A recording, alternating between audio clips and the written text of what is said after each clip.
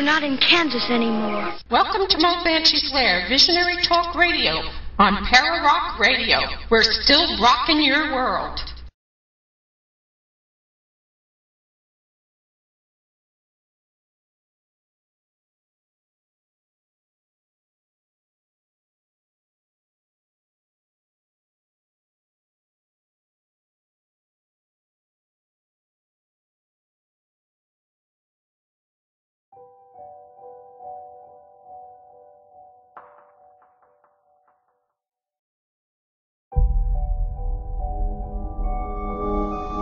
Goodbye, my son. Where you are going, I cannot follow. But I have instilled in you my strength, my knowledge.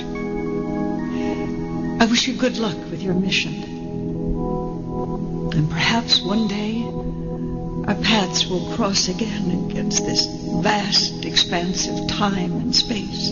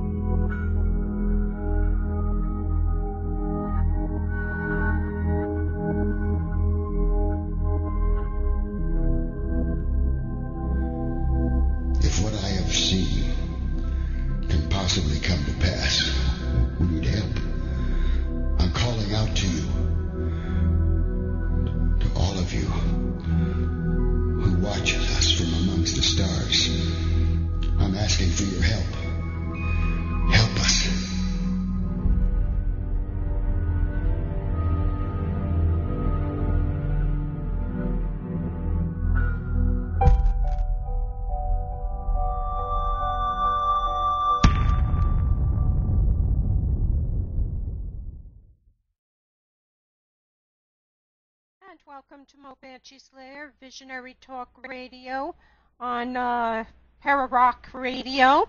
Uh, that was the intro for uh, the the new uh, movie by Hollinsworth uh, Productions, and it's uh, called The Rising Light. And uh, we're going to bring our guest on in just a, a few seconds. I, I hope you guys are all really going to like it.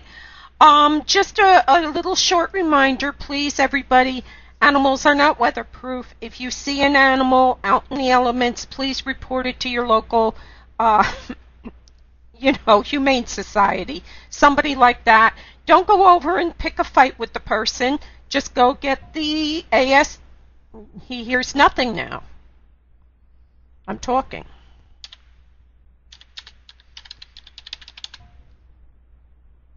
Okay.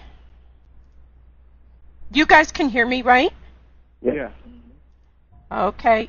Okay, Lady A hears me, so it's okay.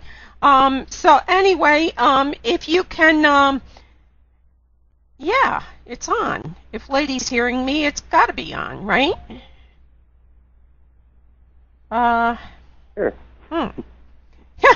Don't you love it when a show comes together? You know. Exactly. It's live. Yeah. Oh, okay. Uh, yeah, it's live radio. That's that's it. Live radio. If you think doing movies is tough, you ought to do ro- live radio. Um, yes. Animals. If you see an animal in trouble, report it to your local authorities, the ASPCA, uh, your your humane society, whoever. Uh, the other thing is there's a lot of things that are going on right now. There was a big train accident um, in New York, and um, you know, there's a lot of sad stuff in the news, and um, all I can tell everybody is it's just life. We we have to get through it, people. We're all in this together. It sucks, but uh, you know, people make bad decisions. People think they're, you know, they're going to live forever. And there's been a lot of uh, that the actor out in California who who died, and the, the young man with him. It's just terrible stuff. But you know what? It's all life, and uh, you just got to kind of suck it up and get past it. And we're sorry for all the terrible, terrible things going on in, uh, on the earth. It's just one of those things that happens, and we're really, really sorry about it. So everybody just kind of try to get past it. And my other thing I'm going to say is it's the holidays. If you don't celebrate any, that's cool. That's cool. Do whatever you do. Just don't call my house telling me not to say Merry Christmas. Because I'm a Christian and I'm going to say Merry Christmas. That's just the way it is. It's Merry Christmas and it's Happy Easter, but I will say ha- Happy Hanukkah to my Jewish friends. Uh, they're going through Hanukkah right now, and that's wonderful, and I hope you all get great things every day, and it's a blessing with your family. So I hope everybody's holidays are just really, really cool. Um, everybody, I want everybody to have wonderful holidays, and if you're alone, do something about it. Go out, get get involved someplace. Don't be alone during holidays. Um, it, it's it's okay to go out and make friends or go out and volunteer. That's a, that's a good thing too. Our guests are on. Ansel Faraj is on. Nathan Wilson and Derek Mobraaten. Um, they are the uh, director and producer and um, actors in the new movie The Rising Light. And uh, I want to welcome you guys to the lair. Thanks for having Thank us. you very much. Thanks for having us. Yeah, um, you guys have been busy since the last time we talked, huh? Yeah. Yes, yes, we have. It's been fun. And that's good. That's good, yep. right? Busy is good. Busy is good. busy and having a good time, like what we like to do. Yeah, yeah. Um, it, because being an actor or being in uh making movies and stuff, it can be so um it can be dry spells, and then then it can get scary, and um, you know it's uh it, it, busy is always preferable to uh not being busy. Um, Ansel, you're you're um you're pumping out some a lot of uh, projects, huh? Yeah, I've been uh, I've been keeping myself occupied since um, actually since before even Doctor Mabuse came out. Um, the Rising Light we shot a couple months after we finished filming um, Doctor Mabuse, wasn't it? Yeah, I think. It, yeah, like. Yeah, like three three and a half months afterwards yeah. is when we kind of started up on the Rising Light. And then um, right after that, I ran right into Doctor Mabuse two, and then uh, then I've just filmed an Edgar Allan Poe short. So I've been quite busy since. Uh, actually for the past year and a half, really. Right, yeah. a couple of years now. Yeah, like nonstop. So, yeah, and now everybody. How do you do it? How do you do it? How do you keep the momentum going? I, I don't know. I'm just sort of a workaholic, I guess. I just keep going. I keep coming up with ideas. Right now, I'm sitting here, and I've got my notebook out. That's I'm writing another script for another film, and um, I just I just do it. I, it's what I've always wanted to do. So I figure now I've been given this opportunity to to do it so I might as well take advantage of it and um, mm-hmm. just keep working and, and get as much out there uh. You see, I'm nice old. Have, yeah, I have to write like stuff down. Oh, go ahead. I, I'm old, so I have to write things down. So I, I understand when you say you're sitting there right now writing ideas and stuff, so you don't forget them, right? Yeah, yeah, it's like compulsive. And who was yeah. just talking, Nathan? Oh uh, yeah, this is Nathan. Nathan Wilson. Okay, uh, what were you saying? It was. It's nice to have somebody like Ansel, you know, around because he's always doing stuff. He's always got ideas. He's always writing stuff and trying new things. And a lot of people in LA, they want to do these things and they want to write this. You, everybody talks about writing a new script or going out and making a movie, and they always talk about doing it, but nobody seems like ever does it. Where it's nice mm-hmm. that Ansel actually talks about it, and then he actually goes out and actually does it as well. So mm-hmm. it's actually nice to be around somebody like that. Thanks um, yeah, yeah, he's a very busy person. And Derek, we're going to get you to jump in here if we have to pull the words out of your mouth. Um, you're, yeah, Ansel, you seem to be going the way of um, John Ford, Orson Welles, Tim Burton, uh, even Hitchcock had his favorites, and uh, you know the core people that he could go to because he knew exactly what he was going to get from them. and uh, you seem to be going the same way with your actors and actresses, huh? Yeah, I've just I'm building my own repertoire company, and uh, that's been really great. As I can just call up, you know, Nate or Derek and say, "Hey, I want to do. I'm thinking about doing this. Do you want to be involved?" And you know, they either tell me, "Yeah, I'd love to," or they turn me down because they're doing something else. But you know, I've got that great pool of actors to um, work with. You know, I mean, even you know, Kathryn and and Jerry and Chris.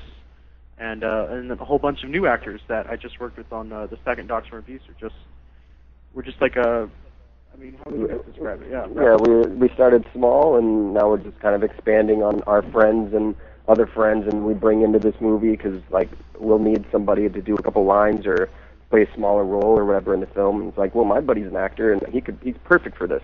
Then we'll bring him in, and then it seems like I, then he just kind of brings a little more to the family, and it And seems then like just somebody else just gets rotate added. with each project, and then add new new people to uh, Mhm. each project. Yep, and we we did some casting for uh, Dr. Mabuse too, Yeah. and um, we brought some other people on that was they're amazing as well. So and we're going to definitely use them again. hmm Um, eh, Derek, uh, you seem to be in two movies now. The bad guy. yes. Well, I wouldn't I wouldn't argue he's the bad guy, but um, yeah, they they definitely seem to be uh, two characters that are seemingly misunderstood, um, you know, to the audience. But they he, both both characters are very grounded in their in their opinions and uh, their convictions and you know what they're trying to achieve. But um, yeah, on the surface, it definitely does seem like the bad guy, doesn't it? Yeah, uh, because uh, in, in the first one, you, you you know I felt bad for you and Doctor Mabuse. I mean, you know, here you've been schlepping for this guy, and you've been his toady, and then you find out he's not gonna make you king of the castle. You know, that's gotta suck. You know, so I can understand that. Uh, the the second one that I watched tonight, I got to see it early. Uh, the Rising Light. Um, you're uh, again uh you're you're the bad guy you're the heavy in it you've got to take this incredible uh being who's very innocent and you got to deliver him and serve him up to the bad guys right yeah, exactly. You know, uh, doing all that with a with a friendship on the surface, you know. Uh, Mhm. But uh, yeah, it, it, they're definitely just they're very uh, their mentalities are very youthful. They have very youthful mentalities. You know, the the idea of trying to attain power at a young age is is a very dangerous thing. It's like a, a, a rattlesnake, you know, a little baby rattlesnake who has all the power of the venom, but is not quite sure how to use it yet. Mhm. It's funny you bring that up. My granddaughter has a friend who um had a, a python, a, a young python, and every night she let it sleep by her on the pillow. And she took it to the vet a couple of weeks ago because she said instead of curling up, it was starting to lay straight next to it. And the vet says, uh, "We're putting it to sleep right now." And she said, "Why?" He says, "Because it's trying to figure out if it can fit you and eat you." He says, "It's gone Oh. rogue now. We got to kill it." That'd be miserable. Wake up to a python in your face. Yeah.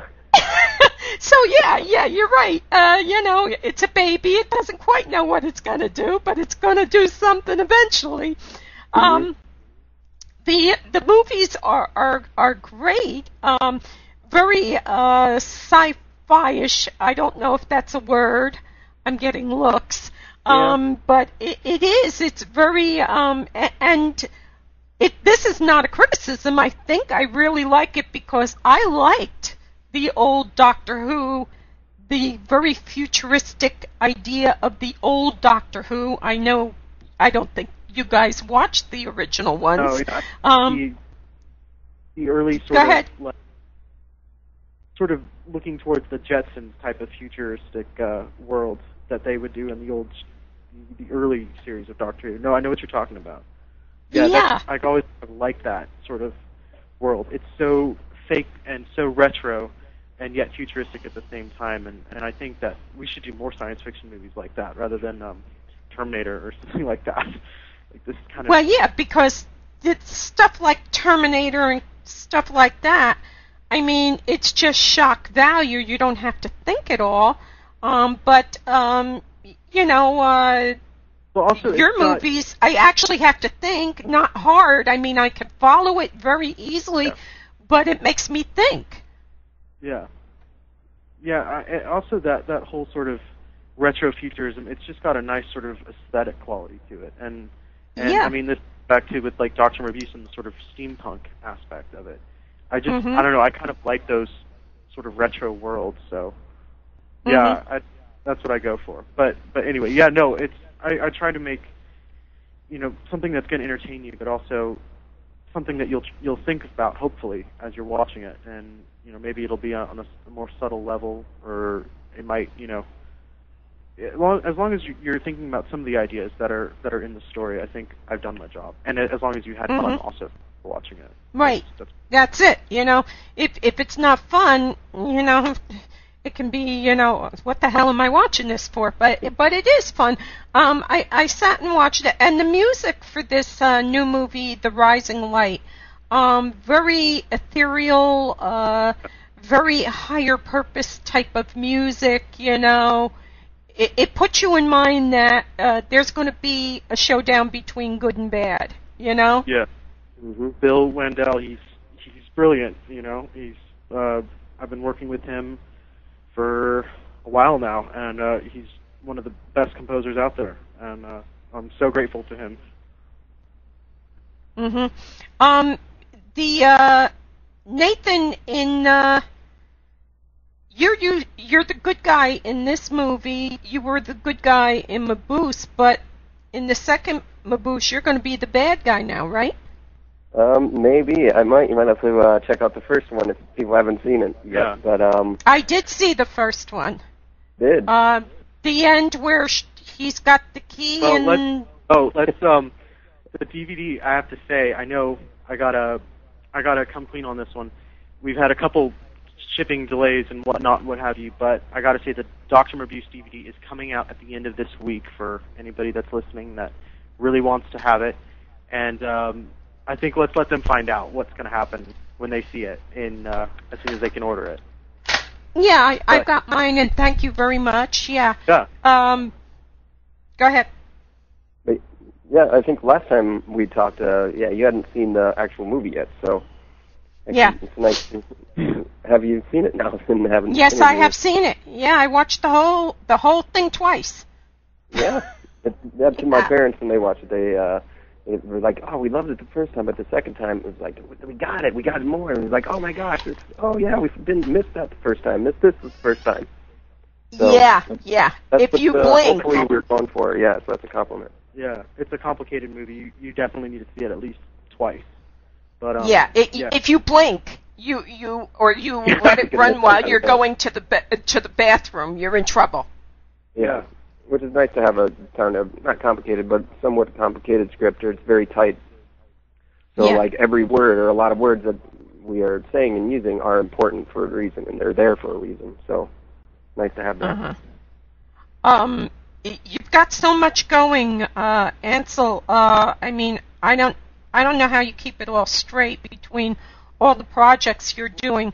Your uh, your site is www.hollinsworth h o l l i n s worth productions.com. Um, th- this movie that you're Dr. Mabuse is coming out on the 6th, right, on DVD? Uh, yeah. Yes. Okay. So be able to- everybody can. Where can they find it? Uh, you'll be able to order it through the Dark Shadows Festival, um, Mhm. which is Maplewood, New Jersey. I, the address escapes me at the moment, but um, if you check the uh, Hollinsworth Productions website, or even the Dr. Mabuse website, www.drmabuse, uh, spelled out D-O-C-T-O-R-M-A-B-U-S-E hyphen the themovie.com, you'll find all the ordering info. Uh, also, the Dr. Mabuse Facebook page, just Dr. Mabuse 2013. It'll be all over, and uh, you'll be able to order it through the Dark Shadows Festival Mm-hmm. in time for the holidays. Yes. And now this other movie, when is it coming out? Um, Rising Light will be online to watch this Friday um, on YouTube for free, and uh, so everybody can see it. There's also going to be a, a sneak peek to uh, the Dr. Mabuse that got postponed. Oh, it did. Well, We've had a couple soon. cases happen. Then soon we will be also be putting out, I guess, the uh, first couple minutes of Doctor Mabuse two at Teopamar. as well. Okay, so Rising Light will be free. You're not you're not selling it. No, not at the moment. We're just um, we. I know a lot of people want to see it, and uh, with Doctor Mabuse one, you know, a lot of people wanted to see that as well, but they were sort of limited to either coming to the premiere in San Diego or coming to some of the Right. Los Angeles theatrical screenings, and uh, they had to wait and for the DVD. With this, I wanted as many people as possible to see it, so we're putting it out Mhm. online. You know, so you can watch it on your computer, on your tablet, on your PS3, on whatever electronic device you have, and uh, and enjoy it. You know, and you know wherever and whenever you are. So hmm Um, let's talk a little bit about this one um, tonight. Uh, the the uh, Rising Light. Uh, it's a sci-fi movie. It's it's um, it's a science fiction, and it's and I'm just reading what you have on your trailer, so it's it, you know I'm not giving anything away. It's Right. the arrival of a being from another world. It's starring Nathan Wilson, Kath, Kathryn Leigh Scott, Linden Chiles, Derek um, Mobraaten. Um, it's written by Ansel. Um, this is uh, a, a kind of a, a uh, extraterrestrial being, some kind of life form being dumped in the middle of uh, the world now today, right? right, And he And, has uh, a purpose. yeah, he has to. He's sent on a journey to find this uh, ancient magician, and um, gets kind of caught along on this very sort of bizarre road uh, journey with this very strange young man um, named Alex, and uh, it's it's it's a very hard film to kind of describe in like you know one sentence. Uh, basically, I just keep telling people it's a science fiction road movie, and Mm-hmm. filled with various surprises and twists and turns, and it's a it's a very unconventional science fiction film, but uh, hopefully one that people will enjoy. Um, let's talk uh, uh, about Linden Chiles. Uh, he he has a prominent place in this uh, new movie that's coming out, The Rising Light, 2013. Um, he uh, he passed away um, unexpectedly in in May, I think. Yeah, hmm yeah, it's two months after Yeah, we finished. Yeah, he he is uh, one of those actors that when you ask the name, not a lot of people remember him, but the minute they hear his voice, Yeah, he's got one of those voice, right? Am I wrong? And he had that voice, and I don't care if he was the Twilight Zone or Rawhide or uh, any of the other um, uh, things he's done. And God, this guy, let me just go through some of these uh, Frasier, Jag, Silk Stockings, Brotherly Love, Fly Away Home, The Rockford Files, Lois and Clark, the uh, the Adventures of Superman. He was the Senator Black.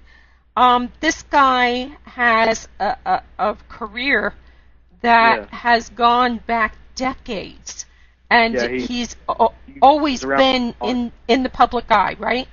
Yeah, yeah, yeah. He um he did so much. He worked for Alfred Hitchcock on Marnie. Uh, he was on the original Twilight Zone. He started on Rawhide with Clint Eastwood. Um, he, he Mhm. did quite a bit, and I was very lucky to have him end up in in my films when I was you know not exactly starting out, but starting to really take filmmaking professionally, and um, to uh, have him in this, and I think it's one of his best performances. Uh, it was a really great honor. And then you know it was his last film, and uh, yeah, it's it's it was really sad when he when he died. Yeah, um, in most of, uh, uh, not most, but a lot of his other roles he played, because he's got that perfect square jaw, he always was a, a, a military person or a government typey person. You know what I mean? In this one, he's he's just like a guardian, a, a, a guy trying to, you know, to help us. You know what I mean? He's just it's a different role. He it, it was a softer role, I think, for him. Yeah, he always liked. He always told me that he wanted to do something, you know, weird and offbeat. He always wanted to play actually the Hunchback of Notre Dame, but never Mm. could. And um, so he was always thrilled when I'd give him some insane script where he would be doing, you know, God only knows what. And um, so he really liked this character. This is actually the second time he played this magician role. We uh, in uh, 2011 we shot uh, the Mystic Tales of Nikolas Winter, which is all about uh, his character, uh, Nikolas Winter, the magician, and he really liked Mhm. that character and wanted to do that more with that character. So when um, and I'd had this idea for this film for a while, and uh, when I decided let's do it, I wrote his character into it. Um, you know, I always found a part for Linden, so I just put Nikolas Winter in there. He's you know he's come from a a sort of strange Victorian setting into the modern world, but it works because he's a magician and he's lived for a thousand years. So, yeah. Mhm. Yeah, it, it um it, it it's it's a good uh it's a good um balance for him and very believable. I mean, I I really liked him in, in it, you know, and um you know, at the end uh, it, it, it's kind of like you're rooting for them. You know, I found myself rooting for him, you know, and I don't want to give away the story. And I'm like, whoa, whoa, whoa, okay, we don't want, you know, no Yep. swan songs here, you know. Yeah, um, exactly. and that, and that's important if you care about the characters of it, you know. Um, Nathan, uh, did you have to let somebody beat you in the head with a baseball bat to make you, um, I I want to say innocent for this? Um, well, Yeah, actually, I got a, a yeah, gigantic yeah, baseball bat. Ansel would come out every day and hit me over the head to uh, knock some sense out of me. Right? No, yeah. um, when, when we when we started doing the film, um, we were talking about just kind of what it was going to be about and kind of experimental and just kind of a lot of music and you know uh, we were talking about kind of the innocence of a person who would come to Earth um, for the first time, not knowing anything, not knowing the corruption like what of what humans are, and to just Mhm. kind of trust everybody and just think everybody's um you know great people or whatever and he you know He knows nothing of the evil. in the nothing of the evil and is like an, an infant baby coming out in a you know a uh, adult form and walking around the earth and trying to figure out what's going on But it's not all. yeah, he's all the. Go ahead. well yeah It's not all evil. You know, he's he, he it, it's Right. the because he encounters both. He encounters the good and the bad, and that's what's interesting is that you have to make the choice. You know, you you're going to encounter not just one or the other, but both things, and you know, you grow up and you have to. and that's life in in, in general itself i guess hmm but Yeah, yeah, so it's- but we were just going off of um just the innocence of a of a child coming to the earth and what would they experience for the first time if they were a little older and wandering around Yeah, the difference, uh, like with Superman, is he's a baby. He's raised by the Kent family, you know, and he he knows the world. He knows what he's going to be up against. You know, this poor schmuck gets dumped in California or wherever. and it's like, okay, thanks, mom. Yep, Love right, you. Hugs. the info, and I'll figure it out. Uh, yeah, it's it's a good idea. Um, we're going to go to break, and I've got a um the um ending uh score for that uh Bill Wandell. Um, it's a life well lived, and I I wanted to play that because it is it's a lovely score. I mean, Hmm? you can have the best movie in the world, but if the music is lousy, you're sunk. Do you know what I mean? Very, very moving music. It is. It's great. It is. It, it is extremely. So I'm going to play it for everybody, and then we'll be right back.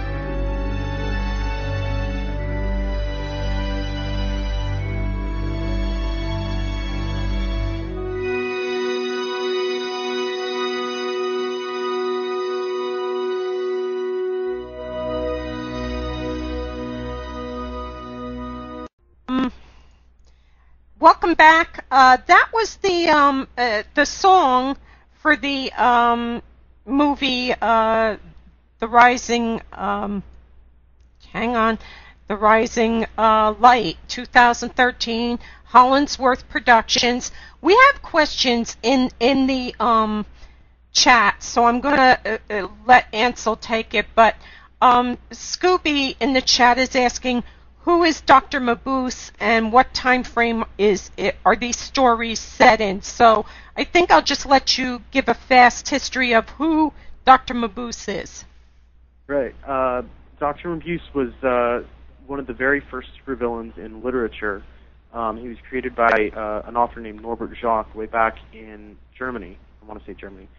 And um, he uh, Fritz Lang, um, this very famous German film director, uh, did this trilogy of films about him, and uh, Doctor Mabuse. Uh, basically, he inspired every single supervillain that's to come, like the Joker, Lex Luthor, every single James Bond villain. Um, and uh, w- what I did is I took uh, the character and sort of reinvented him, and um, you know, for a modern audience, uh, and uh, made a film about him. And it takes place in sort of a it's sort of a netherworld, uh, uh, like a steampunk 1920s uh, location. You're not quite sure if it's Germany, America, or England, and uh, it's kind of set in its own world. And it's almost like a, a film noir. Yeah, it is a- our our film is set kind of in a, almost a little bit of a film noir, um, psychological thriller type of atmosphere Yeah. for for this Doctor Mabuse. Yeah, Dr. Mabuse is uh, the, the the the saying with him is don't let him get into your mind. He's a master at mind control, right? Yeah, a master of hypnosis, uh, a master of disguise, um, a master gambler. He plays with basically people's lives, and uh, he's a very cool villain that people have forgotten about. And um, I always liked him growing up, so I wanted to do something. I did too. I like those Yeah. old vil- villains. hmm Yeah, they're they're, Um, they're they're cool for you know their time and um, you know what what they had to uh, their resources. You know, the original movies were done right after World War One, and and Germany was just in a state of like d- depression basically, and they had to make these opulent uh, you know thrillers on you know with nothing, and they Mhm. accomplished it. Made them look really great. So Another thing that about these old uh, these old villains like Dr. Mabuse and the cabinet of Dr. Caligari and all of this stuff is it was a bit before censors took over completely. So these guys were really bad. I mean, Yeah. it, they could shock the living daylights out of you. I mean, you know, even the House of Usher, you know, she's laying in a coffin, screaming her bloody brains out, and he's sitting upstairs, you know, and and it's okay, and, and anybody else would be horrified beyond belief, but he's okay, and you're okay because it's a controlled situation. You're not in danger, but they were rough stories. I mean, um, it, it- kind of reminds you of Claude Rains' uh, The Invisible Man. Well, we'll kill little people and big people. You know, we don't want to look like we're doing any favorites here. We're just going to kill them all. You know, Right. and that Those are all was the mentality. Yeah, These- they they really they were crazy. Yeah, and they're also commenting on society at the time. Uh, Dr. Mabuse was used uh, back in the 20s uh, to uh, comment on the sort of making money off of the war, and then in the 30s he was uh, uh, a metaphor for Hitler, and in the, the 60s he was a metaphor for Cold War paranoia. So what's great about these characters is that you can take them and apply them to, you know, what's going on in society, and um, and they fit, you know, scarily enough. So Not to mention, it's it's set in kind of a patriarchal society too. So the idea of having a woman inform a man of things is is uh, kind of questioning the norm, and so that's what's kind of an interesting part of the first one that that we, I think Mhm. we play. Yeah. Yeah, and and um, it, the uh, it, the first one, the way he decides, hey, if anybody doesn't agree, he's got a he's got a way to deal with that. Yeah. and Yeah. and and he's, he's and ready Derek, yeah, uh, Derek knows that- he is one of the first people to get coming. tested. Yeah.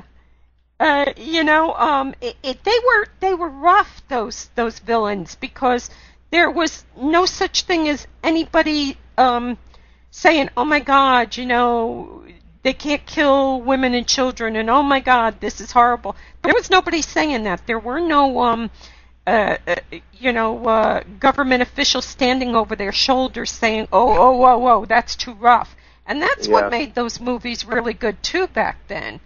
Um, Right.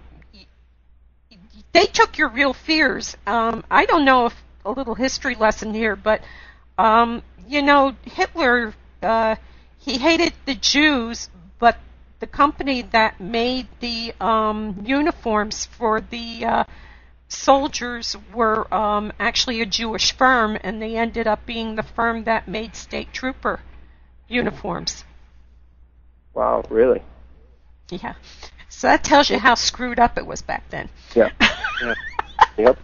Well, another Ah. good story that um, uh, Hitler wanted Fritz Lang uh, after he saw. Um, well, he was always a big fan of Fritz Lang's work, and um, Mhm. he offered Fritz Lang the power. Uh, I think ministry, uh, minister of uh, entertainment, and Fritz Lang said, "But I'm half Jewish," and they said, "Well, we decide who's Jewish and who's not." So that's Yeah. that's always kind of pretty scary. Yeah, yeah. It, you know, really, it was a pick and choose, and and it's what I need. If I can use you, then uh, you know we're Mhm. going to use you. So that's that's who Dr. Mabuse is.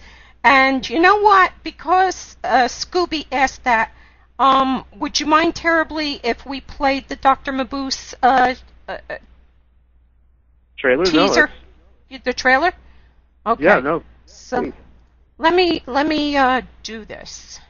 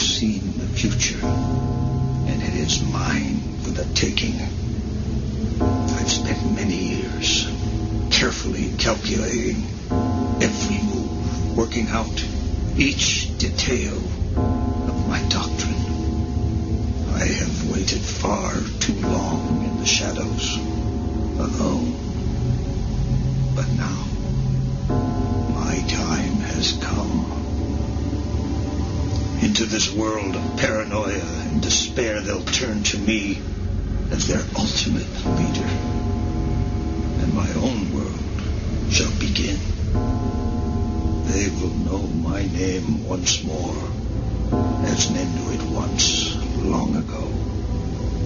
And this time, they will never forget it. Permit me to introduce myself. My name is Mabuse. Dr.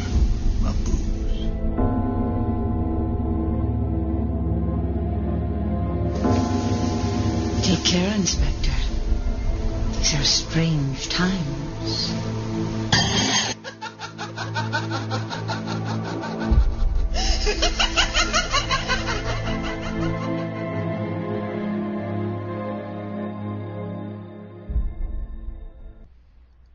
Okay, uh, we do have another question, and I gotta tell you, I giggle every time I hear that because of Lara Parker's laugh.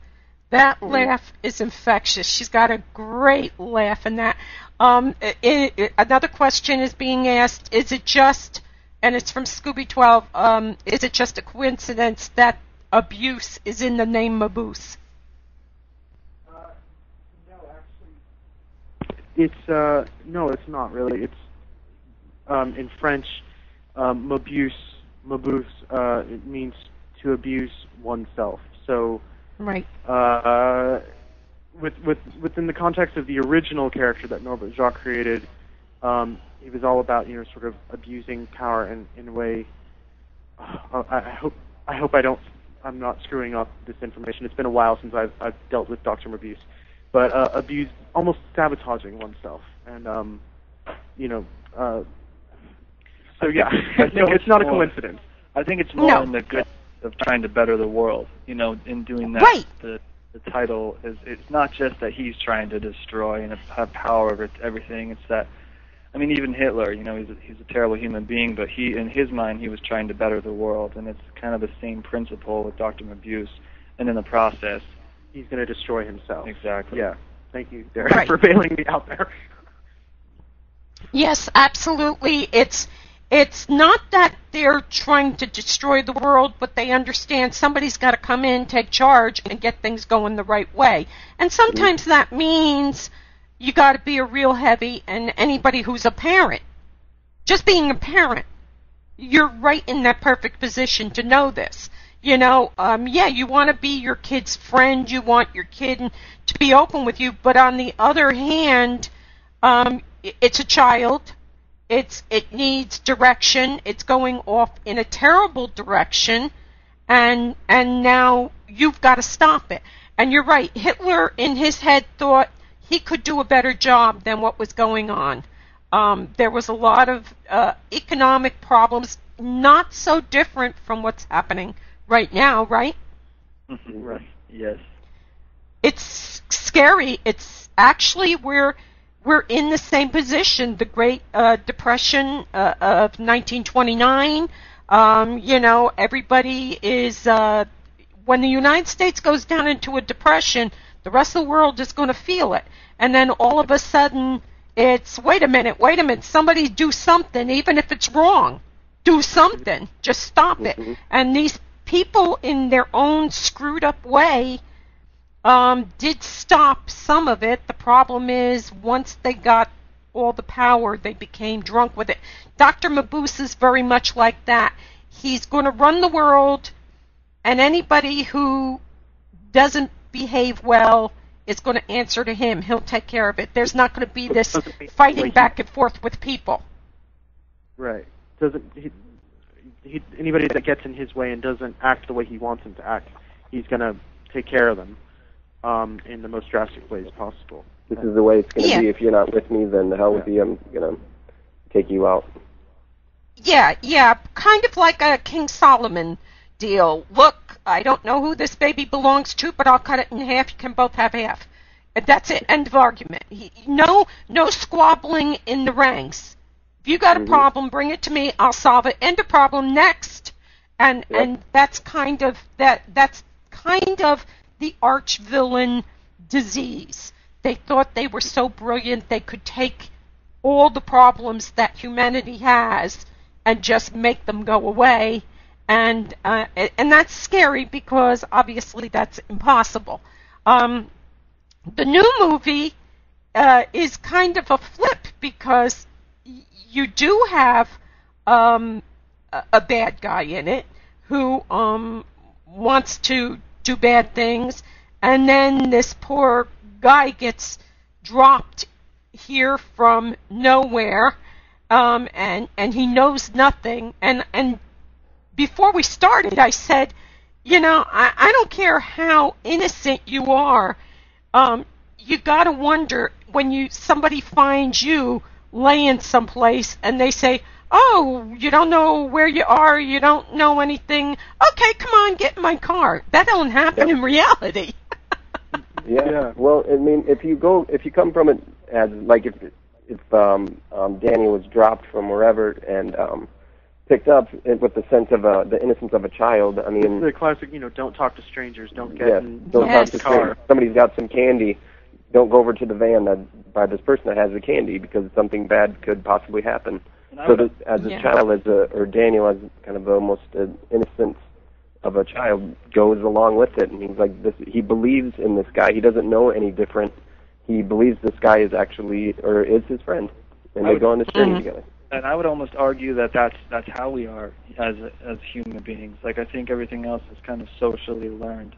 But if you if you if you encounter somebody when you haven't really understood a lot about the world, you're going to trust them if they have that trustability, that that like that likeness, and you're going to go Mhm. with them because you believe in them.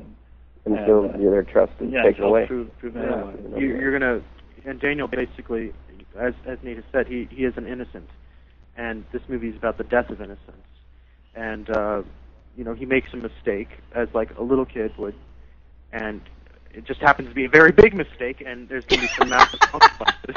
Yeah. but It was a, has- it was a honey. Yeah. yeah, he has to learn from his mistake in order to be a greater being than. And that's you how know, we are as humans. We learn by our own our own experiences. You know, we have good experiences and we know what's good, and we have the bad ones, and we know not to do that. And we don't learn from other people's mistakes either. We don't we don't value wisdom here. Humanity doesn't do that. You know, my mother used to say, "Oh, if only I knew what I knew now back then." You know, and of course Mhm. that's not possible. But I always listen to my mother, and when she says, "Okay, this isn't going to work," and I'll tell you why, I would listen to her.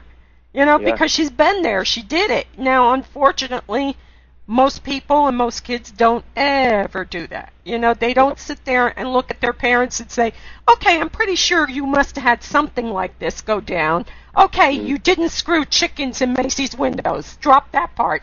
And you didn't hear it from me. But did you do this?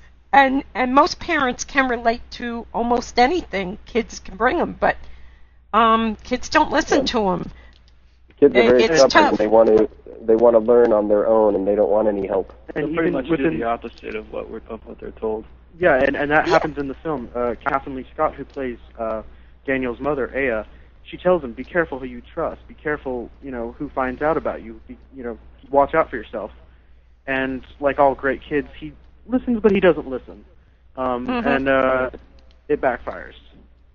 So Mhm. it, it's it's basically it's uh, it's about somebody growing up, um, and uh, and, and childhood, and and um, yeah, just just making mistakes along that way, and and finding out who you are and who you're supposed to be, and, and all Yeah. that. hmm Um, No, you're all you're all very young men. Yeah. Yeah. Uh, if didn't I put that well? Didn't I put that nice? Yes, yes, You you did did put very that very well. Thank you. I, yeah. Um, Derek uh, is uh, well. Um, I'm not going to say the baby because how old are you, Ansel? I just turned 22. So, So- you're the baby. That makes you the baby. Baby. I'm Yep. the baby, and I'm the boss of all of them. So it's kind of a very strange paradox. Actually, that's how most houses are run. The baby runs everything. Yep. Don't Yeah. get the baby upset. I don't care. Do it. Just go do it. Go do it. Here. Yeah, yeah, and and yeah. Um, so you guys, uh, Derek, you're 25. Nathan, you're 34, and Mhm. considering that I'm older than dirt, um, you know, you are all babies to me. Uh, is it is it a rough way to make a living being actors and, and directors?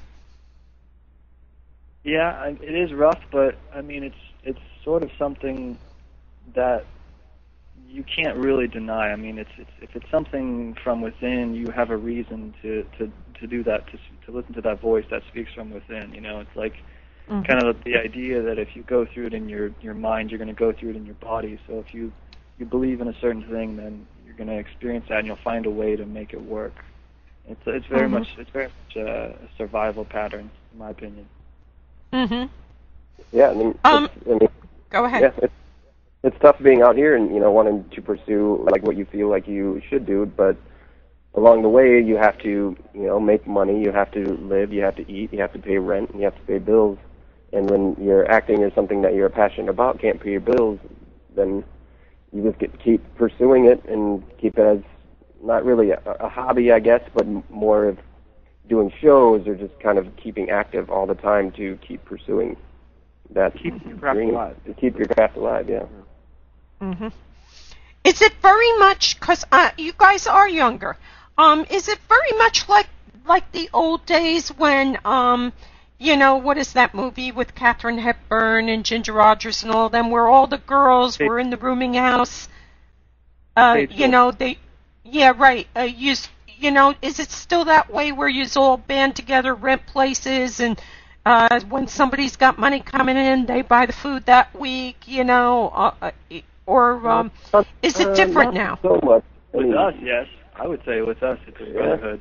I Yeah. Well, we yeah. have a- I mean, we help each other out for sure, and Mhm. we help each other if somebody's down. You know, help that person find a job, or you know, pick them up, or you know, help them out in any way you possibly can. So Mhm. yes, I guess in that way it would be a brotherhood. hmm Because you know, it's it's the business has changed. Well, the Um, business is so much now. and changing still. Yeah, um, I I think independent movies are probably the way it's going to go. Um, you see Schwarzenegger, all of them. Uh, the other one, uh, they're all making the the older guys are making those movies now where the Expendables or whatever the heck they're supposed to be, Mhm. but they're all going to. They do the movie, then they go right to DVD because that's where the money is now. Yep, they'll have a limited theatrical release, and then go to DVD or Netflix or online, or start selling them online. Yeah, I think I think even now it's it, it's changed, but almost for the better because the power is back in the artist's hands as opposed to uh, these big studios. Um, and with the with the power being in the artist's hands, they have more control over what they create and and you know how how their uh, career is affected. Mm-hmm. and, and online. I mean, that's where that's where it's all going. And uh, I mean, like this film, we're releasing it online to get the broadest audience possible. Um, Right. Because sometimes it's not about the money, and I say that lightly, but it's about just getting your art, you know, seen by as many people Mhm. possible. Because there's nothing worse than slaving away and and and making this, you know, making a film and and uh, hoping that it's going to get screened and hoping somebody's going to see it, and Well- it doesn't. And it just basically it just it dies on a disc somewhere in your basement. Like when Blockbuster was around, and now they're starting to go away. You'd put them on DVDs, and you'd try to get them to people. That would be the way to get your movie out there.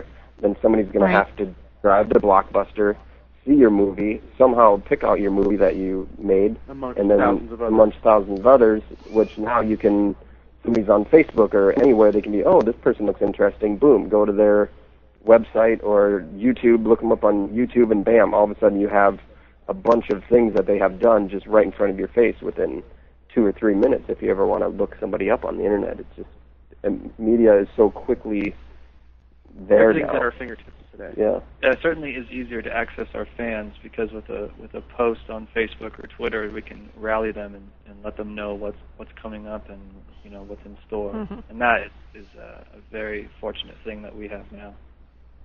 Yeah, I think Steven Seagal was probably one of the big heavyweights to finally realize before anybody else he caught on that. Just go directly to the the DVD, sell it, get it on the market. Because Right. uh, it was getting harder for him to get uh, you know the studios and all to put them you know have a theatrical release. Um, and it's ironic because now AMC theaters are uh, tomorrow night. All, all the AMC theaters are going to have White Christmas for one night only. You know, and people are dying to see those back on the the, the big screen. Yeah. But it's so expensive in the theater now. People have to pick and choose. So the smarter part of Valor, I guess, is get it to, like you say, get it to the audience as easily as you can, you know, and make them want more. And also Yeah. just the amount of money that's spent on marketing a film, and you don't. hmm Sometimes you'll never get your audience, you know, into the theater. Um, with online, your movie, you know that it's going to find an audience. It might take some time, but the, the audience is out there, and they will find it if they, you know, if they want to see something like what you've made. I hope that makes sense. Um, hmm you know, with just I mean, you see like uh, this past summer, like with something like Man of Steel or Pacific Rim, the um, maybe not Pacific Rim. That movie wasn't marketed very well, I have to say. But like, let's say Man of Steel, the marketing on that, the billboards and posters, and you know, there was that whole thing with, you know, how does the Man of Steel shave, and just constant barrage of marketing, um, and that costs millions of dollars now. Now your marketing budget is almost the same budget as your production budget. And with independent film, you don't have that at all. You you've got to rely on word of mouth and you know internet. So and your quality. Yeah. hmm Let me ask you, um, when you do these movies, um, do you do all the editing? Uh, Ansel, do you ask those guys to come in and, and help with the editing, or is this all on you? most of the time it's on me. I have to say though, with this film, um, I did actually have Nate and Derek uh, take a look and uh, give me their thoughts and notes on the uh, on the film because this movie was very strange. It did not start out as a as a movie. It started out as like a, a web series, and we were going to have like six episodes, be about five minutes long, and um, So we so then we filmed some in um, September with Kathryn and everybody, and then I think yeah, we Kathryn. shot through we shot through September September through January. Well, yep, and then Kathryn was like, we should make it into a feature. So then we went back and wrote a little bit more, just not too much more actually, just kind of added a couple more scenes, and, Yeah, added stuff that was always mentioned and talked about, but that we would never see and then we just showed it, and then Yeah. So it kind of went through a couple stages, and Nate and Derek were really great to help me sort of give me their notes and and let me know, you know. kind of where, where because in the beginning we had this certain in, or view of what we wanted the film to be, um, how we wanted it to feel, how we wanted it to It was much more like a sort of a Terrence Malick um, Tree of Life experimental film with very little dialogue and and just more about visual um, and uh, And visual think- impact. And then it just kind of took on a life of its own. And um, grew into the story that it ultimately became. Um, you know, getting there was a bit, you know, not rough, but it, it was a bit more. It was a good journey. It was a- Yeah, yeah, it was a fun journey. It was different than we've done before, and we um, never quite. we've learned. you, you never, you never knew what what we were um what we were going to do next. You know, with, with Mhm. as far as story and and how to um really expand that into a, a feature. Normally, you know, Mhm. when I'm when I'm writing, I have a whole script and everything's planned out meticulously. This one was just let's just go out and let's do it, uh, which was really sort of refreshing. I have to say, uh, right after coming right off of Doctor Abuse, which was you know very strict, you know to the letter. We got to do it this, this, this, this, that, and we were locked in the blue screen. Uh, And you know, with locked this on one- stage. And with- this one, we were just like out on mountaintops and canyons and and all these locations and really having fun and and you know experimenting with the medium and um and it was fun for me and Derek as well because we were so used to acting in front of the blue screen and like having Ansel point at the wall and say, you know, say your lines to this dot or whatever over here, and this is the Yeah. person you're talking to. Which now, when we got to go out into the woods and the rocks and everything and run around, it's all and, tangible now yeah, now we can Right. actually feel the objects and feel the things and give lines and you can feel the the air around you and like the yeah, breeze that's actually nature. there. That's for sure. You can't fake that. Yeah. That brought out the level of honesty. I think that was required. Yeah, I loved I loved the scenery. Um, that was all we're in California. uh yeah it's uh I don't all over like Yeah. Chatsworth was uh was a little bit of in Chatsworth, Topanga Canyon. thing. Uh, Tuna Canyon, um, Franklin Canyon, basically every single canyon we have in Los Angeles County, we were there. Uh, pretty much all, Mhm. all the only places left that are still nature. Yeah. hmm mhm. So let me ask you something. You're doing outside filming, and um, I did see Dr. Mabuse the uh, scenes at the end. Um, what are they? The extras where evidently a squirrel was on the roof Yeah. of the. Yeah, um, that was kind of funny. Um, that Yeah. was actually kind of funny because obviously you have to stop. So did you have like planes going over and have to stop and do the old we clear? We had a couple. we had a couple incidents. A couple? that happened. The blue screen room is pretty close to an airport, so there's quite a bit of times where you have to stop and like with the squirrel incident, there's nothing like being in this intense scene with your partner and then all of a sudden you hear a like what is, you just stop like what is that? It's a squirrel on on the roof running across. Yeah, and what did you do? Go beat it up after that? because finally Now it's Ansel, away. Ansel says, "I'll take care of this." Yep. I think one time the squirrels were having coitus, weren't they? No. yeah, I think, that, I think that was actually the time, the one time we had the squirrels. But uh, but you know, whenever you're filming, there's there's going to be little incidents here and there that you just got to deal with. Um, yeah. You know, that's that's just a natural part of the work. Uh, Yeah. But with uh, Rising Light, yeah, we had you know a couple incidents. You know, sometimes we got rained out, or you know we, we couldn't film on one day because it was the weather was horrible, or we had no cover set because we were out on location the whole time. Um, Maybe it'd be cloudy or Yeah, or- something would happen, and then we we- just wait a little while and Yeah, kind of hang out, and get some food, or do whatever, and then maybe the sun would come out, and then we go. because we shoot. we've got a very very limited crew, and uh, it's basically just us out there filming. So we Mhm. don't we, we didn't have to worry about you know a whole bunch of you know forty some people, and that's that's nothing on a, a big Hollywood set. Forty some people waiting around doing something. It was us. Mhm. So there was a lot of freedom there. Um, Yeah, y- y- every every film has their instance, but you just you deal with it. Yep. So so of filming, but basically, I like the process you're of all you're all learning every aspect of this, uh, making a movie Yep. bit, right? Yes.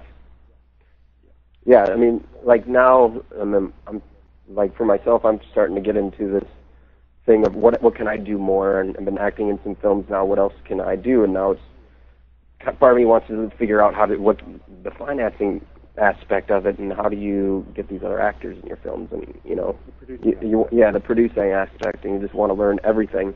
I think the more that you know about the filming world, the better actor or you know artist you become because you're not Mhm. just stuck into this one mindset of all I have to do is show up.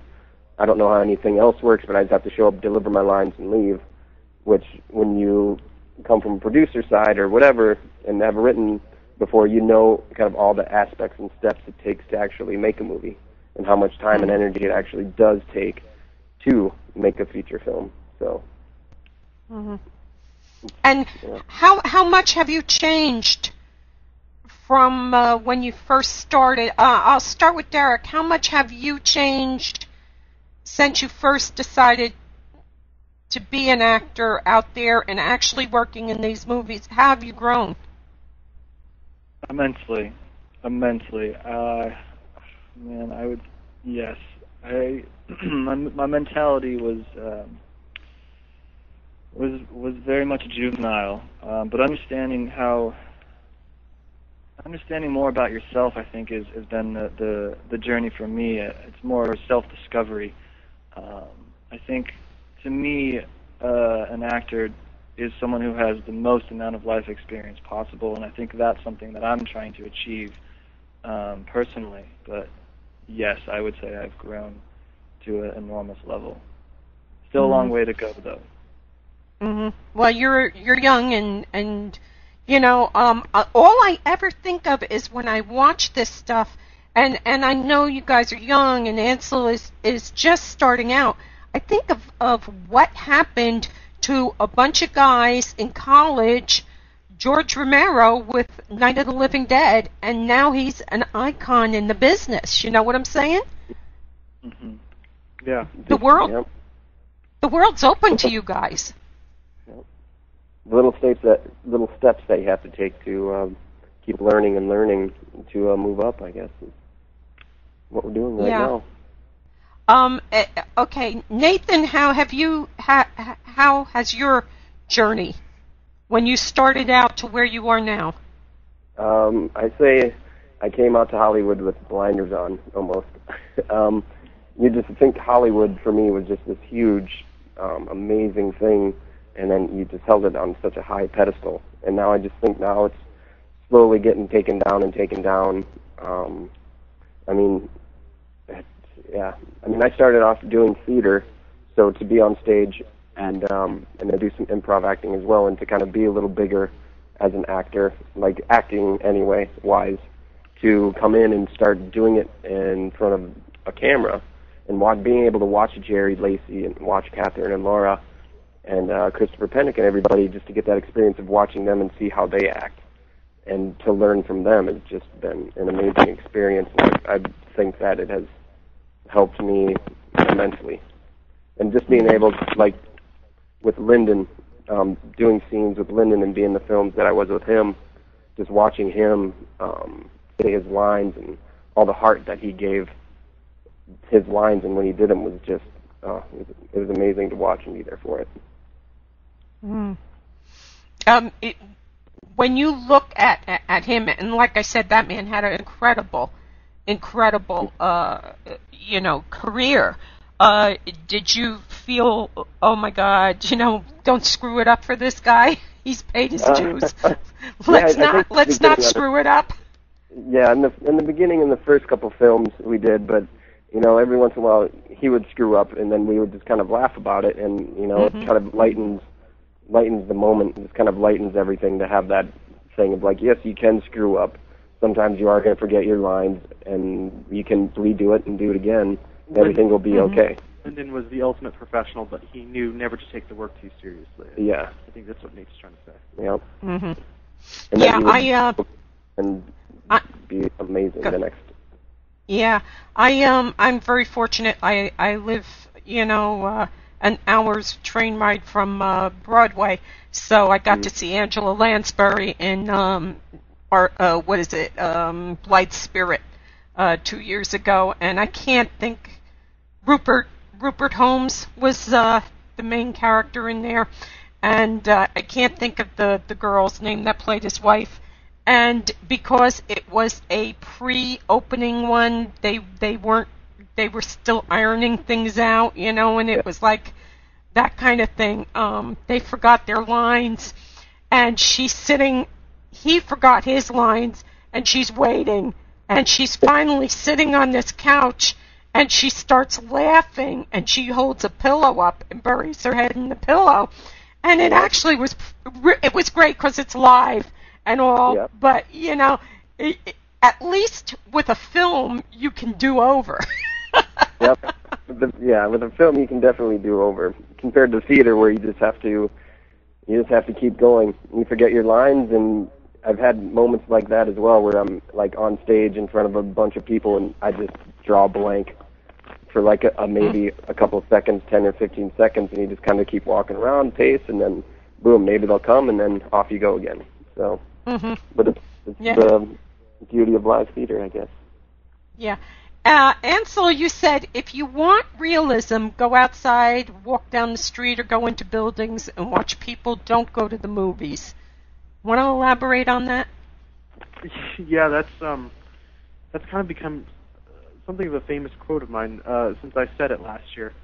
Uh, yeah, just you know, movies, movies when they started out, they were basically, you know, they allowed an audience to to escape and to enter dream worlds, and um, yeah, I I still hold by that. I, I don't think a movie should be too realistic. You know, you're you're you want to be entertained, you want to escape from your life. You will you go watch a movie. There should be a little bit of magic to it, I think. And Mhm. uh, so I- in all my films, I try to have that sort of artificial reality, um, and uh, some uh, not a fantastical element, but a kind of a magical element to each film, um, either in the style or the story or the characters. Um, because ultimately, this is a piece of entertainment. It's not reality. If you want reality, you can watch the news or watch a documentary. But uh, yeah, that's Yeah. that's that's basically where that quote came from. That's just hmm always my thinking. I, I think that I'm going to do a little plug on one of my own films that I wrote and Ansel directed. Um, a film that we called probably the closest that Ansel has come to realism would be um, The Gambling Man that I wrote Okay. and Ansel directed a little while ago. But there's still with that. It's on YouTube right now. But with that, there was still an essence of um, This is a movie, so yeah, like this is a You have- movie. It's still with it. kind of like a weird adventure, even though it's very dark, and um, it's still just a little different. So you know that this isn't quite real. So Mhm. that's the closest you ever came to something with realism. well, yeah. Well, that, that yeah. Anyway, Yeah. Um. Y- y- did you guys watched the um, Walking Dead finale the other night? Yes, I did. Yeah. Okay, uh, I'm going to put it out there. We're a Marine family here. Why didn't somebody just shoot the governor flat out right at the beginning when he Yep. stood on the goddamn? You know, uh, you're standing right there. Your chest is out. Just shoot him. End of war. That's it. Yeah, Everybody. I'm thinking the same thing. I, I, we're all looking at it saying, Like shoot him. got- Just shoot him. Sword going over there. Just get rid of him. Do it. And they did. Shoot the guy. I know, He's- and then you sit there and yell at the. TV, and in the end you're like, okay, yeah, I know, okay, it's this is just a TV show. Don't get so worked up. yeah, but, it, But it's there's it, the drama. Yeah, George Romero was asked to uh, direct uh, uh, a couple of uh, episodes, I guess, last season, and he said no because it's a soap opera with a couple of zombies thrown in once in a while, and it was getting to be that. Um, you know, uh, it- Yeah. once you get once you get a group of people into a position where it's a daily routine, then it becomes oh all the drama and the cat fights and all that, you know. Yep. And and there's no way to avoid that because that's that's life, you know. Once you get into Yep. that routine and and it's the same thing every day and you know okay so they they kill a couple of walkers now and again and then uh, they go back to fight over whose turn it is to do the wash or whose turn it is to do this or mend the fence you know? Um but yeah i think i think everybody in the country was standing there screaming at the tv sunday night saying shoot him just shoot him don't talk to him just shoot him Yep. And that's the entertainment Um, factor that you'd like to have in these films. Yeah, you know, um, it, it- you know, and there's something else about that movie. Do we not have any American actors who could have played uh, uh, uh, the sheriff in that? We had to import a bunch of people from England to play those parts. I think Is, Australia. am I the only one who thinks that? Yep. I, I think some of the best actors out there are are actors that they just handle villain roles so all the more better than uh, than Americans do. That's just, just my opinion. Well, even Yeah. Superman, Steve Brutus Yeah, as well. yeah. Henry Cavill. Yeah. Yeah, I mean, you watch something like Gettysburg, or so, half of the, the the generals and all were actually, uh, you know, British uh, English actors, and I'm thinking to myself, what are you telling me? We do not have any American so- people, actors who can play American generals or what? You know, come on, you know. It's just, it, it's just, uh, it was ironic, and I guess, uh, you know, that's the industry now. It, it, it used to be, if you were in Hollywood, you were okay. They went for Hollywood. Um, every now and again, somebody might say, "Oh well, there's this British actress, you know, Selznick's brother-in-law. Just give her a chance," because he wanted an American actress to be Scarlett O'Hara. You know, that was the way it was back then. Now, actors and actresses are competing with actors and actresses all over the world for things Yeah. in their own backyards.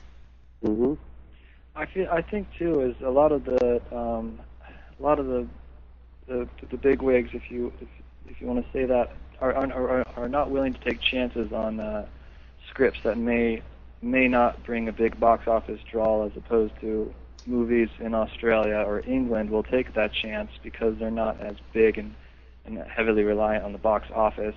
You know, look at a movie like Candy with um, uh, Geoffrey Rush and Heath Ledger, a bit of a chance, and, and but it kind of brings the um, it brings over the the international actors for that because the, they see that they see that they're they're able to carry these roles that are very art, artistic and uh, American actors don't get I don't think that opportunity as much unless you're one of the big A-listers.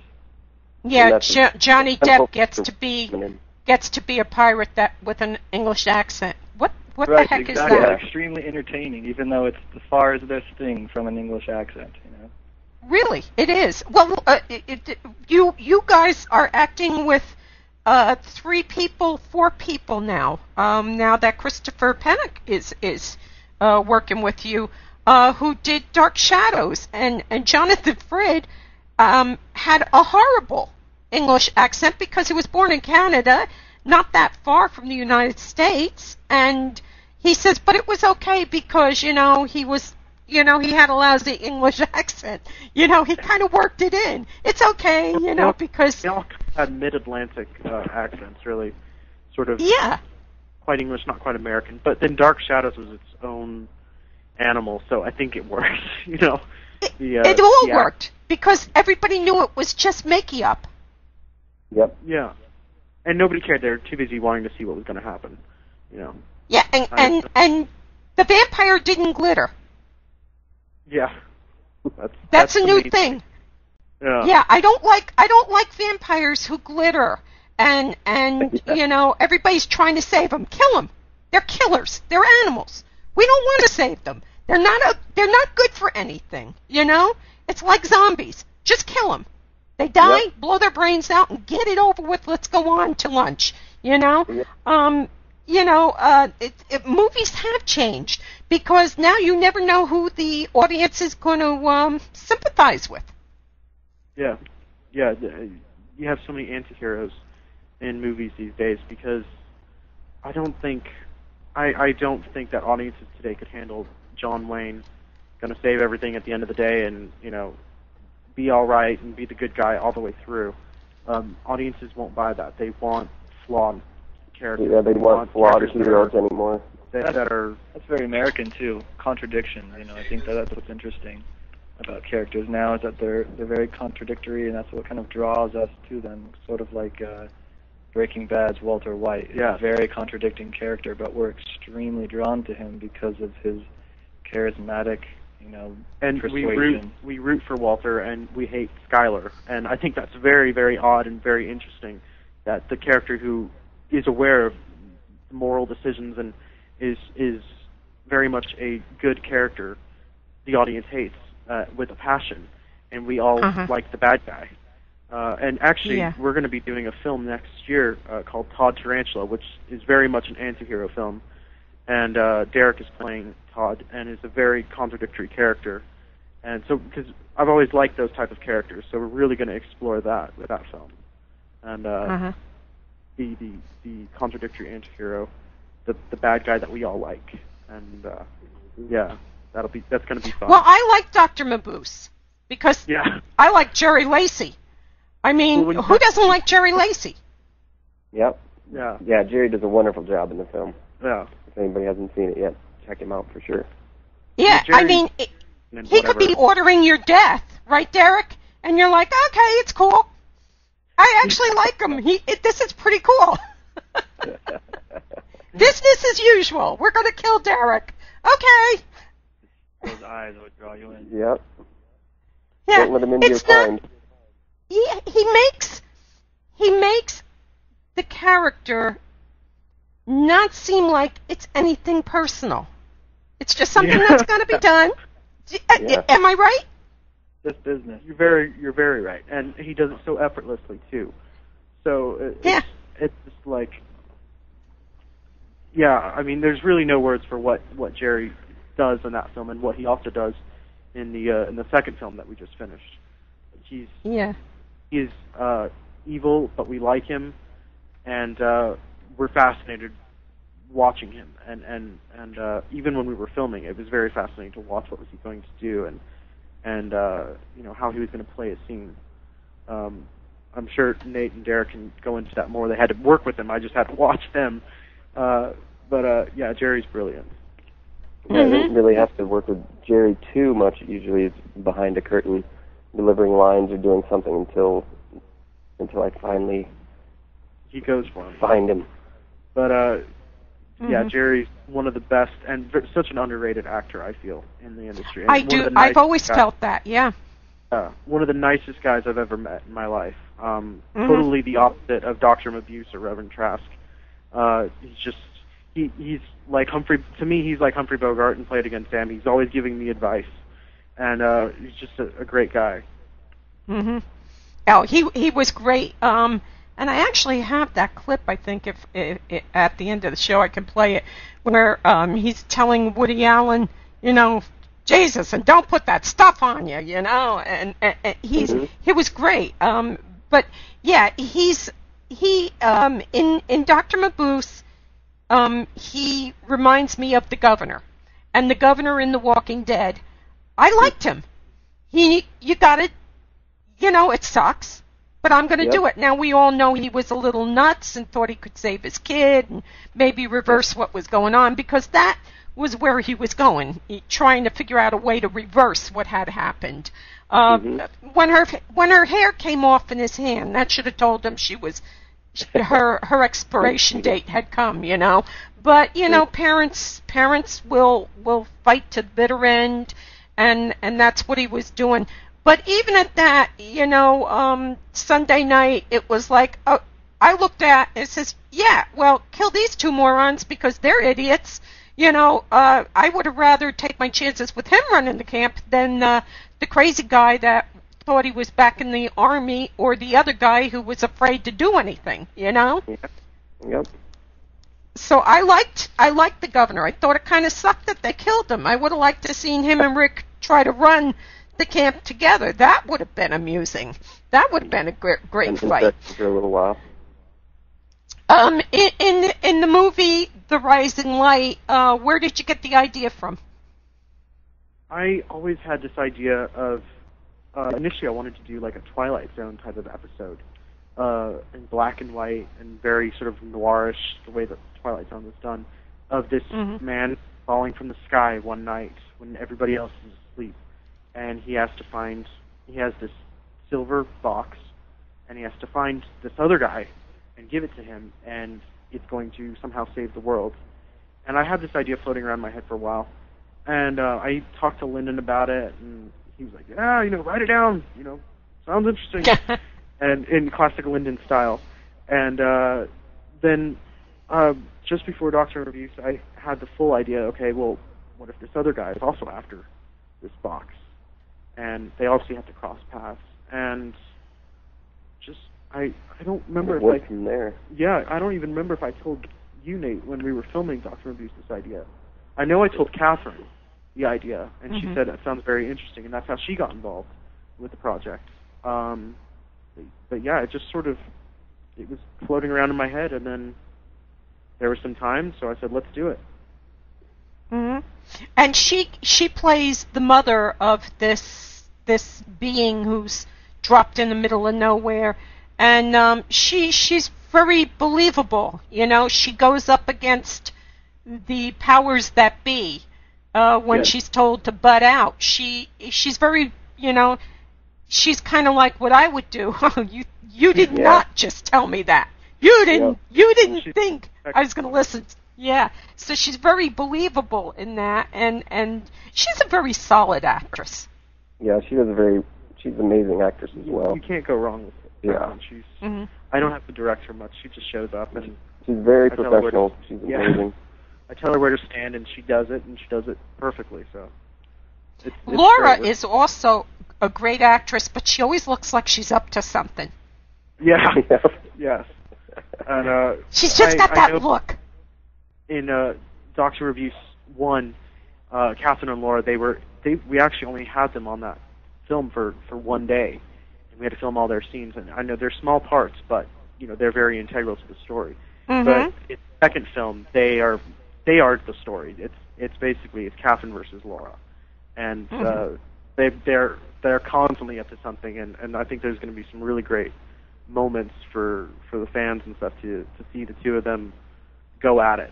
Uh, and then you've got Jerry Lacy versus Christopher Pennock, and so you you know it, everybody's fighting each other, and uh, it's a lot of fun.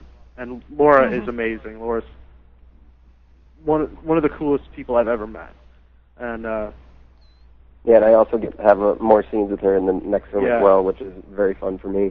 And so we Mhm. got to do more lines, and we had a good time. Yeah, I mean both Kathryn and Lara. You know, Kathryn, I always tell her you're the best film school teacher that I never had when I was in film school.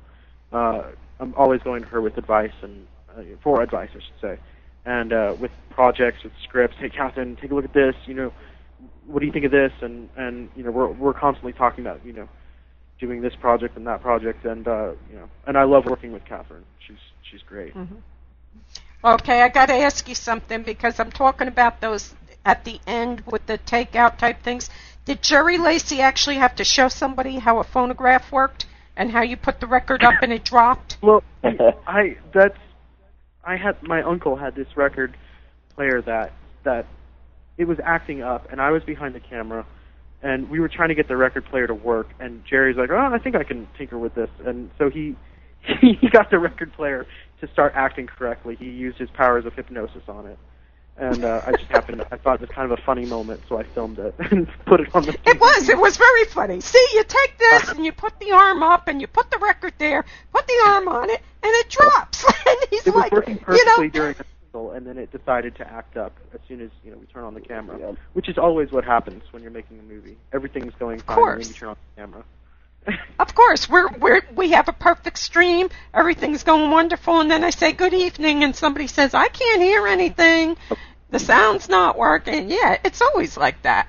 Um, It'll be what do you and then all of what do you sudden sup- it'll be action, and then there goes a plane over top. Yeah, yeah, that that that was fun to watch that stuff with the squirrels and the noise because um you know, it brings you back to like when Edison had the Black Maria here in Orange. My my father-in-law worked for him. And uh so that tells you how freaking old I am. And uh actually my husband's uh, quite a bit older than me, but uh yeah, my my father-in-law worked for Thomas Edison in the factory and he would watch them and you know there was always noise and and something being pulled along the road or some ridiculous noise and they'd have to stop. Even though it wasn't noise it would disrupt everybody trying to figure out what they were doing you know because it, it it's not a, a what did they call it? A quiet stage where there's Yeah, no when sound came along, and you had so many people that were filming. I was watching a documentary the other day, and they were talking about they had this uh, sound uh, a, a a filming location, let's call it that, instead of a sound stage, a filming location in this warehouse by uh, in Brooklyn by this by the train, and when talkies came along, they couldn't film there anymore because the train would go by every three or four minutes and disrupt the the sound recording. So, yeah, you, you- way back then they were constantly dealing with something as soon as they, you know. But like you Mhm. said, this is all part of the process, all part of the work, and you have you got to deal with it. Yeah, I, I think as um, directors and, and production companies have to pull away from the big moguls, uh, they they have to become um, more self-reliant, and they have to be able to take snowballs in the face. Uh, Yeah. That's what I call when something goes wrong. You know that Yeah. disgusting snowball in the face where you go, oh, for God's sake, you know. Uh, it, it it's it's tough, you know. It's a rough way to make a living. Um, eh, but you guys are doing phenomenal. I I'm so proud of you. Thank you. Thank you. Yeah. Yeah. Um, I'm We're trying our best, and we're just chugging along. Keep it going. Yeah. that's it. You keep your face out there, and that's very important. You know, um, to to keep your face out there so that you don't get lost in the one ads. You know, Mhm. um, you're always visible. You're always doing something. You're always willing to take a chance, and that's very important. And that's good that you're doing it. I'm going to um, play uh, um, Madame Carosa. Carosa is that her name? Carosa. From the, huh? yeah, Madame Carosa. Yeah. Yeah, her theme. Um, and then I'm gonna bring you back and and we'll wind it down and uh, you can tell everybody all the information where they're gonna find you. I I highly recommend Dr. Mabuse. And now after having seen uh, the Shining Light, um, I think anybody who's into sci-fi and and the uh, what is it, uh, Doctor Who and and that um, very uh, what it, what am I looking for? What is that word I'm looking for to describe them? existential science fiction road movies thing. yeah. It's yeah, very- yeah. It, it's weird. It's weird, Yeah. but it works. It's it's a Yeah. very It's it's something It's- different it's- than you would typically ever see in a science fiction esque type of film. It's not exactly science fiction, but it is. It's not exactly a road movie, but it is. It's not exactly a superhero movie, but it is. And it's it's yeah, it's a conglomeration of a lot of things, but somehow we got it. magic, sorcery, And it's, uh, um, all of that. aliens, sorcerers. Entertaining, entertaining, entertaining Yeah. in the end, hopefully. Yep. That's Yeah. what it's all about. Okay, so let me play this, uh, and, and we'll be right back. Let me load it.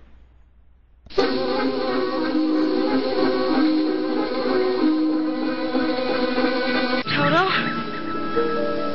I have a feeling we're not in Kansas anymore. Hi, this is Moe Banshee inviting you to listen to Moe Banshee's Lair Visionary Talk Radio every Tuesday evening at 9 p.m. Tune in to Moe Banshee's Lair on Para Rock Radio. We're still rocking your world. I'll get you, my pretty, and your little dog, too.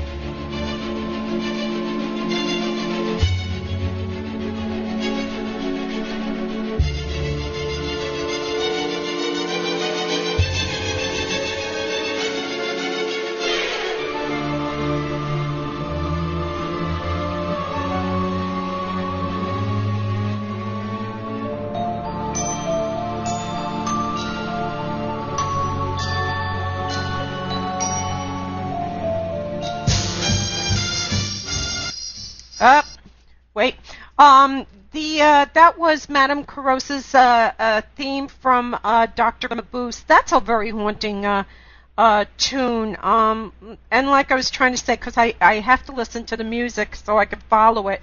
Um, I'm just glad you guys could be on, um, and that we can help you. Um, uh, tell everybody where they can find everything. You can go to the uh, doc, uh, Hollinsworth Productions website. Uh, a lot of Mhm. our movies are on there, uh, and essays and pictures and all this stuff about our films. It's www.hollinsworthproductions H O L L I N S W O R T H Productions dot com. And then for if you're just interested in Doctor Mabuse, uh, www.drmabuse-themovie.com. And then there's a whole bunch of Facebook pages uh, for Hollinsworth Productions, The Rising Light, Dr. Mabuse. Um, You can look up, I'm sure, Yeah, the- Ansel's, Derek's, or my name yeah, as we're, well we're on on. Facebook, and um, we have a lot of things going on under our Facebook pages right now as well. And different projects Yeah. that we're working on and have been doing and are continuing to do. Yep. Yeah, um, on my Facebook you can find everybody's links, um, and of course that's Moe Banshee Asylum. You can find everybody's links, uh, or just ask me and I'll I'll get it to you. Um, you guys are doing wonderful, and I'm very very proud of you all. Thanks. Thank you. And thank you, Mo. You're amazing as well. Thank you for having us Yeah, on your thanks show. for for allowing us to come on and promote our work. And you know, uh, we like we said before, the independent market, you have no marketing budget, and to just get to be able to explain your work and explain your movies on your show has just been a godsend Yeah, for, it's nice. for me. it's nice to be able to put forth a lot of work and all the time and effort it takes to do these movies, and the time and effort it has taken us to get to where we are, acting, directing, writing, producing, and all of those things. It's nice to have like a little outlet to show people, and just glad that you're here to help us out. Oh, thank you. Um, yeah, you know, um, my f- a lot of people say, well, two hours is too long, you know, an hour and a half for an interview. But when I see people who their entire livelihoods depend on being, you know, getting the word out, and then they go on a show like the Tonight Show. Okay, they're getting like three minutes to tell Yeah. everything, and then they're rushed right off, and then they're followed by something else, and it's almost like nobody remembers what they said. You know? Yeah. And and I feel bad when I see that because I think to myself, Jesus, these people are working their tails off, and and they should have more time to uh, you know Well, to Talk to about find out who themselves. these people are instead of pretty much on- it seems like on these shows they're just there to plug their thing that they're working on, talk a little bit about themselves, and then get off. Which you never Yeah, really get to know that person because they're just plugging the work that they're doing. Yeah, and and it, it it's so much more. It's just like anybody else, you know. You got to pay your bills. You got to pay the electric. You gotta you got to make sure you eat, you know. And uh, you know, it's it's yes, it's an art. It's something that you're passionate about, but it also has to support you. You got to get the word out. It's it, it's a lot of resources taken up in your lives too. Hmm? It's, it's a lot to uh, it's a lot to balance. It's a lot to uh, juggle. You know, to uh, be able to do all these things and to keep going at it year after year. It takes a lot of passion Yeah. and heart to stay doing it. Yeah. What's what's next for you, Nathan? Um, right now, You working um, on anything now? Um, I've been doing a lot of improv comedy shows um, in Hollywood at uh, IO West, which is an improv theater there. Um, I'll be working on Todd Tarantula, Ansel's next film in March. I believe we're going to start shooting that. Um, I'm working on this other project right now. I'm trying to find out how to get some financing for uh, for one of my friends of mine's films. So I'm starting to try to figure out the producing side and um, see how that all works. So that's kind of Mhm. well, that's not a that's quite a bit actually, but That's that's like- actually a lot. Anyway, Yeah, uh, you're an overachiever right now. yeah, yeah. Uh, Just trying to Derek, what do you? learn? Yeah, Derek, what are you up to? Um, I've got a, a short film coming out. Um, I think it's going to be coming out in, in January, February, called "The End, My Friend." It's uh, uh, basically about a couple who experiences the end of the world in a post-apocalyptic setting. Um, it's not science fiction, but it's very, very much, um, very much a road-oriented type of script. And I have Ansel's Todd Tarantula coming out, and a few music projects, and um, just life. Mm-hmm. And Ansel, what's coming up Uh, next? Well, I've got uh, the Doctor Mabuse DVD coming out at the end of this week, and then um, in February, uh, a short film I did with uh, Chris Pennock, uh, "The Madness of Roderick Usher," based on Edgar Allan Poe's "Fall of the House of Usher," is going to be online to watch. And then we go start filming uh, Todd Tarantula, and uh, then in April we've got the Doctor Mabuse 2 premiere in Los Angeles, and uh, And then we're gonna is it gonna be? yeah, we're, we've got we've got a couple things lined up. So Mhm. yeah, it, it's going to be pretty crazy. Let me ask you, Christopher Pennock. I've had him on. We're talking the Energizer Bunny here. Oh, Um, yeah, yeah. he's quite the gentleman. Whoa! All the best. Um. Yes, he is. He's he's disarming. He's charming. He's funny as hell. Um, it, he just he just keeps going, and you're like, holy smoke! You know, whatever you're on, give me some. Chris and I, we we're going to be working together for a long time. I think uh, we just, as I said, we just did um, Doctor Mabuse two together, and then the Ro- Madness of Roderick Usher. And uh, next month in January, we're going to go film another Edgar Allan Poe film, um, A Descent into the Maelstrom. And I told Chris we're going to be like uh, American Horror Story instead of Jessica Lange. It's going to be Christopher Pennock, and uh, it's going to be Edgar Allan Poe movies, and just do them and, and put them out there for for the audience that wants them. And uh, And there's a big audience for them. They're timeless Yeah. stories. Yeah, Mhm. and then Chris is also going to be in Todd Tarantula along with um, Steve Railsback, uh, Mhm. who's a very well respected actor. He was nominated for a Golden Globe for The Stuntman with Peter O'Toole, and uh, so he's joining our, our repertoire company, and we're really excited about that. And we got a That's couple cool. other surprises lined up, and it's going to be a really crazy year, but hopefully a really fun year.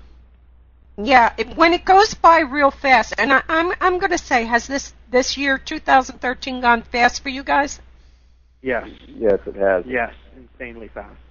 That's what I Mhm. I just remember finishing up the first Doctor Mabuse and just being like, oh my god, we got a whole year until it's going to be in the theatrical release, and we're going to you know put it in theaters and go to the Dark Shadows Festival. And I was like, oh my god, oh my god, and now that's almost it's done. that's been that's done, and like the year is almost done already on this, and we've already shot Doctor Mabuse two, and now we got the Rising Light that's coming out, and we've we've done and we did a short in between that that I said before that I wrote and Ansel directed called The Gambling Man. Like we've done there's Oh, so much work And and, and since then, which has been amazing. yeah, it's just a constant stream of.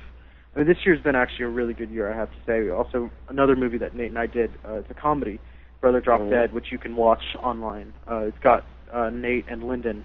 Uh, he was at the Buffalo Niagara Film Festival and, and won uh, Best Comedic Screenplay there. And then Oh, cool. right after that, we had the Doctor Mabuse premiere, and then it was just constantly Yeah, it, amazing. it's, everything just picked up and it's not stopped. It's it's we're still going, and that's the way that we like it. That's cool. Yeah. That's cool. Um, do you ever consider taking other people's scripts? Has have people come to you and say, "Hey, look, I wrote this. What do you think of it, Ansel?" Yeah, I've gotten. I mean, some- besides Nate. I mean, he's like Yeah. attached to you. yeah, no, I've He's attached to you. Um, I get a lot from uh, from outside writers and stuff. It Mhm. it just it really depends on the right script and and the right you know what can I do. Uh, uh, no more. uh, What I should say is, can I apply my vision to this and make this work? And do I Mhm. really love it that much that I want to to work on it? Um, Mhm. but, but yeah, I always get scripts from from writers and stuff. They, they And uh, and what is your favorite? Do you see yourself being locked in a genre, or do you think you're going to keep yourself open to all genres? Well, I'd like to do a lot. Uh, I guess I, I think I'd have to say probably my strength is probably thrillers, but I'd love to do a musical one day. You know, so when I'm not doing Batman, I'd love to go do something like Moulin Rouge, um, Yeah. or you know, even you know, I'd like to do whatever, whatever is going to be fun to make, you know, Mhm. and can really because I mean, movies you're you dedicate a year to two years of your life to whatever film you're going to make. So that's a lot of time to spend on a project, and you really have to love that. You know, Mhm. love that project in order to commit to it. So to me, it really depends on the project that comes along. But within that, w- having said all that, I I would not mind whatever it is: comedy, drama, thriller, musical, horror, That's uh, good. sci-fi, whatever's Mhm. out there. hmm That's cool. I want to thank you guys for coming on, and you know I'm I love you all. I I wish all three of you only the best things that are possible to get. Thank you. And thank you so much, Paul.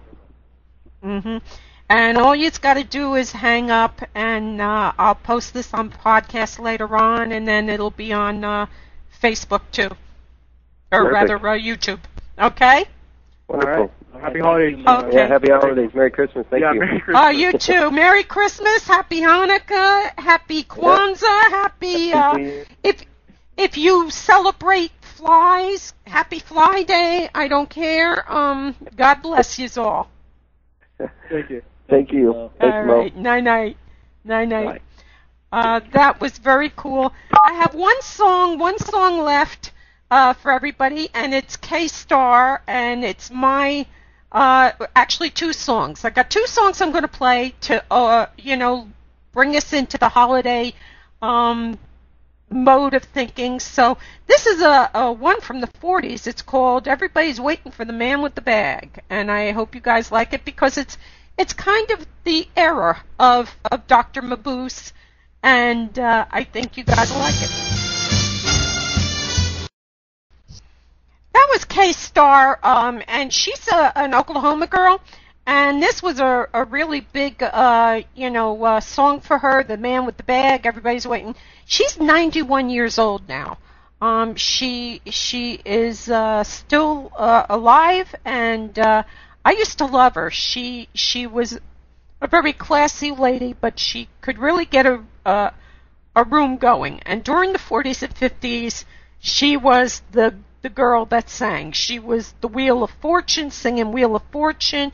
Uh, one more time, she was a, an incredible singer. So, uh, the other song uh, next week we're going to have Psychic Cheryl Lynn Everybody knows Cheryl Lynn from um, the uh, my shows. She's been uh, an incredible uh, person. She's really nailed a lot of the uh, the predictions. She she was pretty much on the money with Sandy. She said we were going to get hit with a really big uh, storm in 2012, and man, did we get nailed. Uh, she said I would be traveling, and at that point, I had no idea I was going anywhere. And uh, in, in November uh, 2012, I went to uh, Ireland. Uh, it just I had no plans. Uh, it just happened. So uh, she's she's pretty good, you know. And uh, of course, it's always uh, you know for fun. But I hope everybody will remember that. But I hope they'll enjoy it. And this is the last song we're going to do, and I'm playing it because I think we need a little Christmas, we need a little fun. So uh, I hope you guys enjoy this.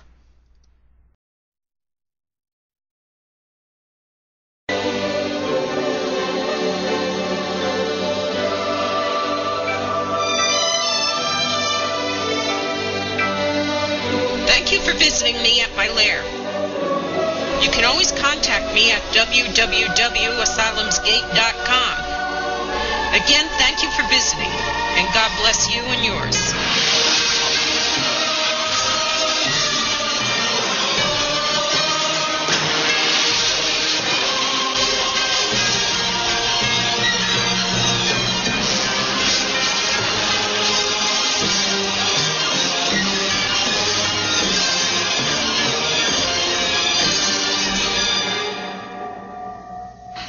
Ha ha ha ha ha ha ha.